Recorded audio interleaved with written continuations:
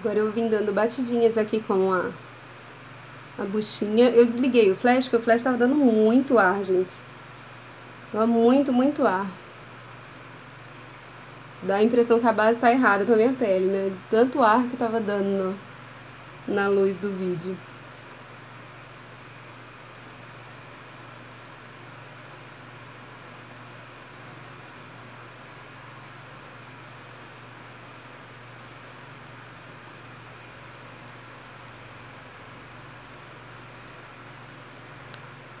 Base espalhada, agora eu vou vir com corretivo.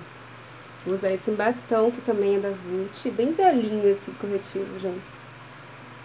Ele é mais hidratantinho assim, então ele é bom pra área do olho aqui. Porque geralmente a área do olho craquela por conta de falta de hidratação, né?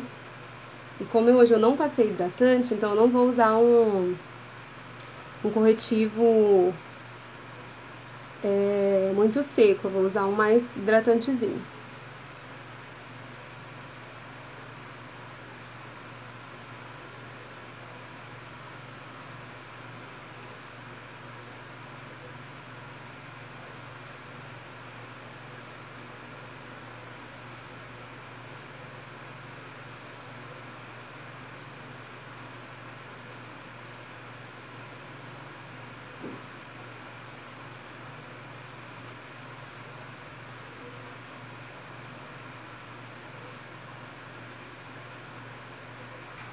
Agora vou arrumar a sobrancelha.